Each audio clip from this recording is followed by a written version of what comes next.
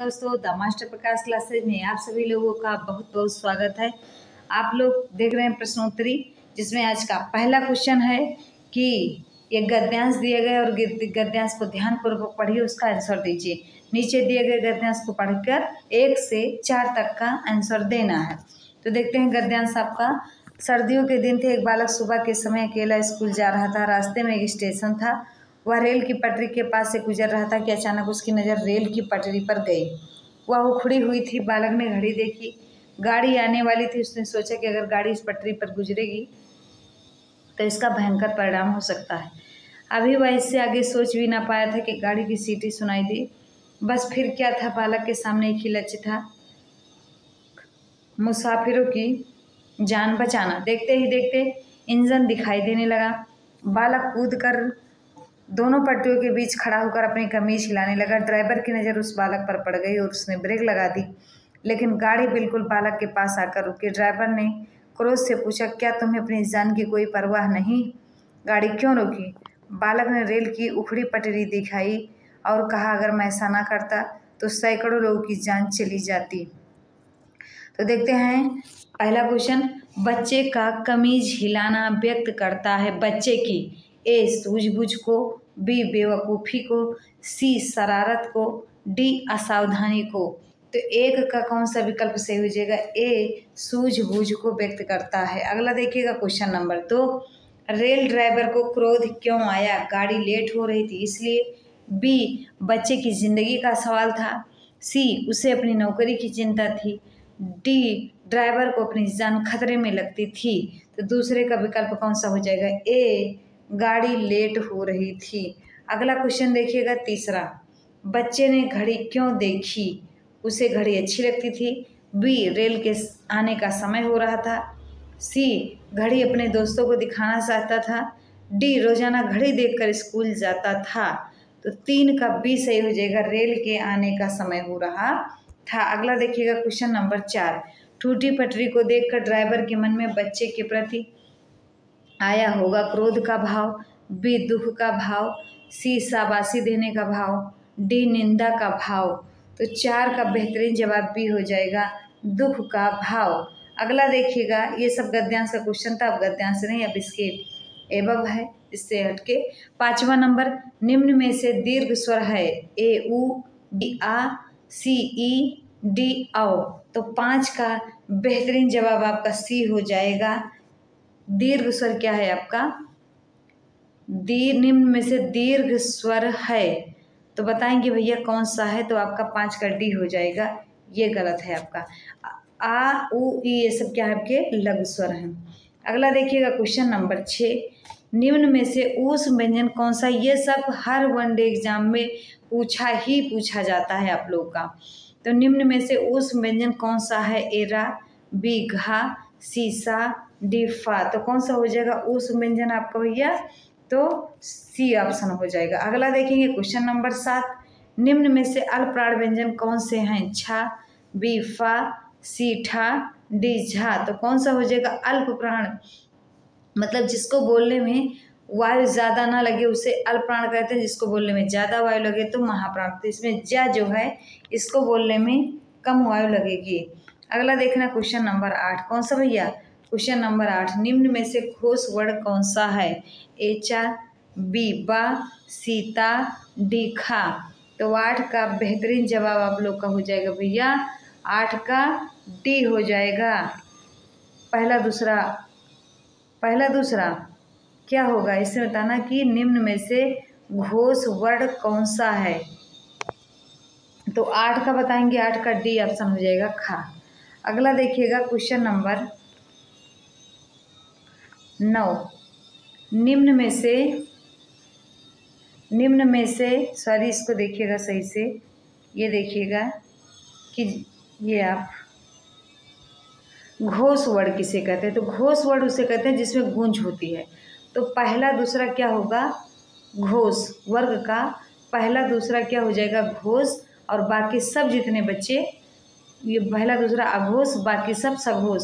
तो इच्छा, ता, खा, ये सब आपके अघोष हुए और बी ऑप्शन इसमें सही सही कर लीजिएगा इसको भैया। क्वेश्चन नंबर नौ। निम्न में से मूर्धन्य वर्ड कौन सा है? तो बताएँगे। ए, का, बी, चा, सी, टा, डी, ता। तो मूर्धन्य का मतलब क्या होता है? जो मुँह से बोला जाए। अब मुँह से तो सारे वर्ड बोलते हैं, लेकिन इसका कहा जाता है कि ऋतु रसाड़ा मूर्धा तो मतलब सी ऑप्शन टा आपका क्या हो जाएगा? मूर्धन्य वर्ड हो जाएगा। अगला देखेंगे। क्वेश्चन नंबर दस। निम्न में योग रूढ़ है कुटुज बी देश सी मोटा डी ध्यूप तो बताएँगे भैया, योग मतलब होता है कि जिसमें दो शब्द को मिलाकर बने और उसका अर्थ भी अलग हो। तो दस का बेहतरीन जवाब आपका ये हो जाएगा कुटज होगा। अगला क्वेश्चन देखते हैं क्वेश्चन नंबर ग्यारह। पावन का संध विच्छेद होगा। बताइए, आप लोग बताते रहिए, एकदम बढ़िया पढ़िए।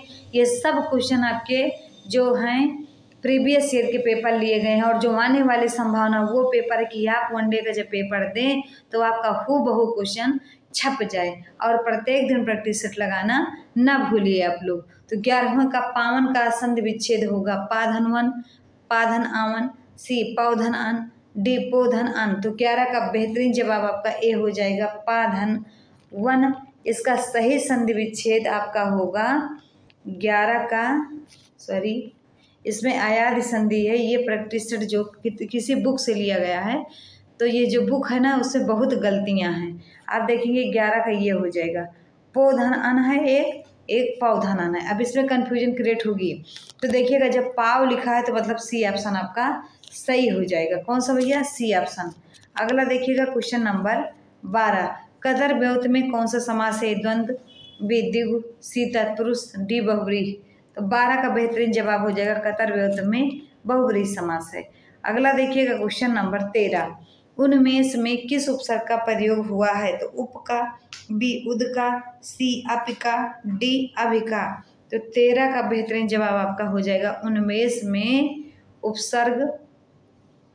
बताएँगे आप लोग कौन सा हो जाएगा? तेरह का। तो तेरह का आपका हो जाएगा बी उद हो जाएगा। अगला देखेंगे। क्वेश्चन नंबर चौदह।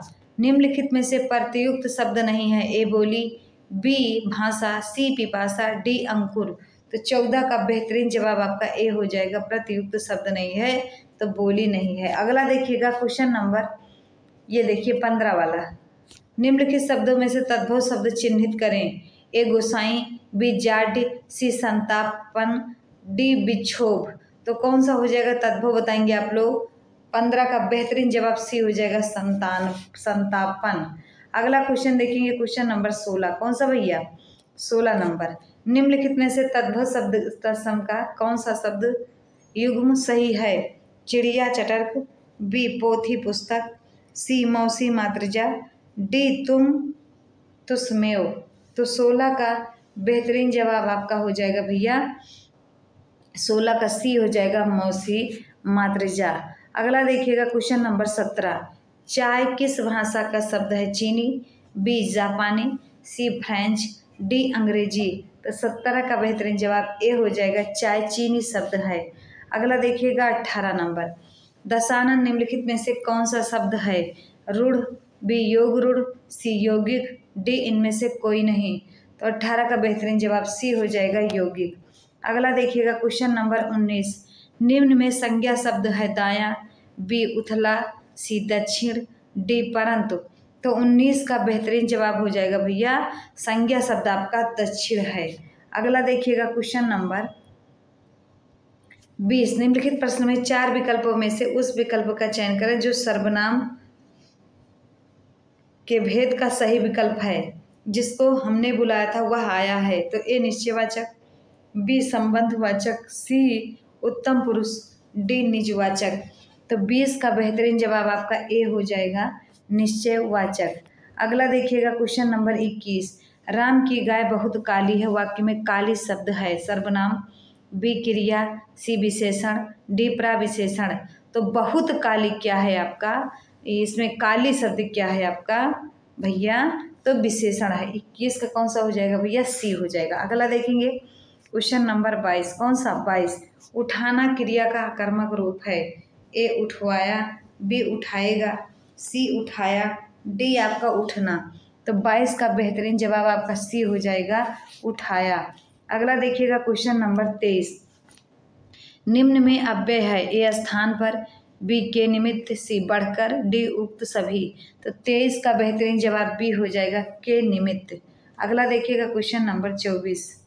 शाखा मृग शब्द का पर्यावाची है, ए हिरण, बी वानर, सी तोता, डी भौरा तो चौबीस का कौन सा हो जाएगा? डी।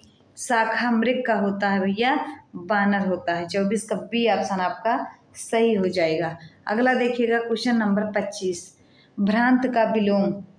भ्रांत का विलोम बताइएगा आप लोग। निर्भ्रांत, विश्रांत सी दुखांत, डी शांत। तो भ्रांत का विश्रांत हो जाएगा। अगला देखेंगे क्वेश्चन नंबर छब्बीस। वह स्त्री जिसका पति दूसरा विवाह कर ले, इस वाक्यांश के लिए एक शब्द क्या होगा? ध्यूड़ा बी परित्यक्ता, सी अनूढ़ा डी खंडिता।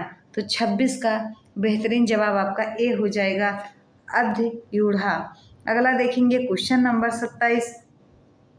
अंक शब्दार्थी शब्द समूह का चयन कीजिए। ए अंक गोदी हिस्सा, बी गोद संख्या अध्याय, सी संख्या भाग टुकड़ा, डी अध्याय समय अवस्था। तो सत्ताईस का बेहतरीन जवाब ए हो जाएगा अंक गोदी हिस्सा। अगला देखिएगा क्वेश्चन नंबर अट्ठाईस। हरी, हरि और हरि शब्द। हरि और हरि शब्द युग्म का सही अर्थ है। बताएँगे भैया, ए, बिसड़ू हरे रंग, की, बी, गधा घास, और बताएँगे आप लोग, हरे रंग की बिसड़ू और बिसड़ू पहचान। तो हरि और हरि का क्या हो जाएगा भैया, अट्ठाईस का बेहतरीन जवाब आपका हो जाएगा। अट्ठाईस का सी ऑप्शन हरे, हरी माने? ये सॉरी बिसड़ू और हरे रंग की। यही ऑप्शन आपका। अट्ठाईस का ए सही हो जाएगा। कौन सा? अट्ठाईस का ए सही हो जाएगा। उनतीस, शुद्ध वर्तनी है। तो इसमें कौन सा शुद्ध वर्तनी हो जाएगा? उच्च श्रृंखल डी ऑप्शन उनतीस का। अगला देखेंगे। क्वेश्चन नंबर तीस। कौन सा भैया? तीस। निम्न में वर्तनी की दृष्टि से अशुद्ध है। ए अध्याय, बी आजीविका, सी उज्ज्वल, डी अभ्यस्त। तो कौन सा हो जाएगा? तीस का। तीस का डी हो जाएगा अभ्यस्त। अगला देखिएगा क्वेश्चन नंबर इकतीस। कर्ण कारक किस वाक्य में है? तो बताएँगे, राम को फल दो, बी वह कलम से लिखता है, सी यह राम की पुस्तक है, डी वृक्ष से पत्ते गिरते हैं। तो जो कर्ण कारक होता है, कर्ण माने साधन। तो इकतीस का कौन सा हो जाएगा? तो वह कलम से लिखता है बी, ऑप्शन सही हो जाएगा। अगला देखेंगे बत्तीस। निम्न में पुल्लिंग शब्द कौन सा है? ए, चाहत, बी, रंगत, सी, मेहनत, डी, आहार। तो बताएँगे बत्तीस का हो जाएगा भैया बी, रंगत। अगला देखिएगा तैंतीस नंबर। निम्न में स्त्रीलिंग शब्द कौन सा है? हाथी, बी, मोती, सी, पानी, डी, नकेल। तो तैंतीस का बेहतरीन जवाब आपका डी हो जाएगा, स्त्रीलिंग नकेल है। अगला देखेंगे क्वेश्चन नंबर चौंतीस। चिड़िया शब्द का प्रयोग बहुवचन में क्या होता है? चिड़िया, बी चिड़ियों, सी चिड़ियों, डी चिड़िए तो कौन सा हो जाएगा? चिड़िया। अगला देखेंगे क्वेश्चन नंबर पैंतीस। निम्नलिखित वाक्यों में से पूर्ण वर्तमान काल को स्पष्ट कीजिए। ए, अब हमारे पढ़ने का समय हो गया है। बी, वह घूमने जा रहा है। सी, वह पढ़ रहा था। डी, मैं बाहर जाऊँगी। तो पैंतीस का बेहतरीन जवाब आपका बी हो जाएगा। वह घूमने जा रहा है। अगला देखेंगे क्वेश्चन नंबर छत्तीस। क्वेश्चन नंबर छत्तीस। तुझसे उठा नहीं गया। वाक्य में वाच्य है। कर्तवाच्य भी कर्मवाच्य, सी भाववाच डी उपयुक्त में से कोई नहीं। तो छत्तीस का बेहतरीन जवाब ए हो जाएगा कर्तवाच अगला देखिएगा क्वेश्चन नंबर सैंतीस। जब पानी बरसता है, तब मेढक बोलते हैं हमें, जब पानी बरसता है, कौन सा वाक्य है? ए संज्ञा उपवाक्य, बी विशेषण उपवाक्य, सी क्रिया विशेषण उपवाक्य डी क्रिया उपवाक्य तो सैंतीस का बेहतरीन जवाब आप लोग का हो जाएगा भैया सी, क्रिया विशेषण उपवाक्य अगला क्वेश्चन देखते हैं। क्वेश्चन नंबर अड़तीस। इनमें से शुद्ध वर्तनी का शब्द है, बताएँगे कृषांगिनी, बी कृषांगी, सी कृषांगी, डी कृषांगी। तो बताएँगे अड़तीस का बेहतरीन जवाब आपका हो जाएगा डी कृषांगी। अगला देखना क्वेश्चन नंबर उनतालीस। पुनरुक्त सूचक चिन्ह है। तो कौन सा हो जाएगा? सी ऑप्शन सही हो जाएगा। क्वेश्चन नंबर चालीस। आँख खुलना मुहावरे का सही अर्थ है ज्ञान होना। बी, भ्रम में पड़ना। सी, आँख किरकिराना। डी, लज्जा दूर होना। तो क्या हो जाएगा? ज्ञान होना। अगला देखेंगे क्वेश्चन नंबर इकतालीस। कमर टूटना मुहावरे का अर्थ क्या होगा? निराश होना। बी, जीत जाना। सी, कमर टूट जाना। डी, चोट लगना। तो क्या हो जाएगा? निराश हो जाना। अगला देखना क्वेश्चन नंबर बयालीस। आसमान से गिरा खजूर पर अटका लोकोक्ति का उपयुक्त अर्थ बताइएगा। मतलब एक नई मुसीबत में पड़ना। अगला देखना क्वेश्चन नंबर तिरालीस। आँख के अंधे गांठ के पूरे लोकोक्ति का सही अर्थ बताएँगे। तो बताएँगे इसमें, मूर्ख धनवान ही आपका हो जाएगा। C option. अगला देखना क्वेश्चन नंबर चौवालीस। काव्य संबंधी रचनाओं का अनुवाद कहलाता है। काव्यानुवाद बी, शब्दानुवाद डी, सी, वार्तानुवाद डी, भावानुवाद। तो चौवालीस का कौन सा हो जाएगा भैया? चौवालीस का बी हो जाएगा, उसे शब्दानुवाद कहते हैं। अगला क्वेश्चन देखना, क्वेश्चन नंबर पैंतालीस। बिहार की राजधानी पटना किस बिहारी बोली में स्थित मैथिली, भोजपुरी, मगही, अगिका। तो पैंतालीस का बेहतरीन जवाब आपका हो जाएगा भैया। बिहारी की राजधानी पटना किस बिहारी बोली के तो मैथिली पैंतालीस का क्या हो जाएगा भैया? ए हो जाएगा। अगला देखेंगे क्वेश्चन नंबर छियालीस। सुपरविजन के लिए सटीक हिंदी अनुवाद पर्यवेक्षण बी सर्वशक्ति सी फैसला, डी नाकेबंदी। तो छियालीस का बेहतरीन जवाब डी हो जाएगा, नाकेबंदी। अगला देखेंगे क्वेश्चन नंबर सैंतालीस। खड़ी बोली की पहचान खड़ी बोली की पहली रचना है प्रेम सागर बी नस्केतोपाख्यान सी ढोला मारू रदुहा डी आसीय तो सैंतालीस का बेहतरीन जवाब सी हो जाएगा, ढोला मारू रदुहा अगला देखना क्वेश्चन नंबर अड़तालीस। रानी केतकी की कहानी के लेखक सदल मिश्र हैं। बी लल्लू लाल हैं। सी ईसा अल्लाह खां हैं। डी सदा सुखलाल हैं। तो अड़तालीस का बेहतरीन जवाब भी हो जाएगा लल्लू लाल। अगला देखना क्वेश्चन नंबर उनचास। कवि और उसकी रचना का कौन सा जोड़ा सही नहीं है? A Shivraj Bhushan Bhushan. B Shabd Rasayan. Dev. C Parimal Suryakant Tripathi Nirala. D Uddhav Shatak Bharatendra Harishchandra तो उनचास का बेहतरीन जवाब ए हो जाएगा। ए हो जाएगा। अगला देखेंगे। क्वेश्चन नंबर क्वेश्चन नंबर, इसमें शिवराज भूषण भूषण लिखे हैं शब्द रसायन देव, और ये उनचास का सही है। देखिएगा, इसमें ना कुछ ये प्रैक्टिस सेट से लिया गया तो उसमें कुछ गलत भी है, लेकिन जहाँ तक होता है कि उम्मीद आपके साथ गलती ना की जाए।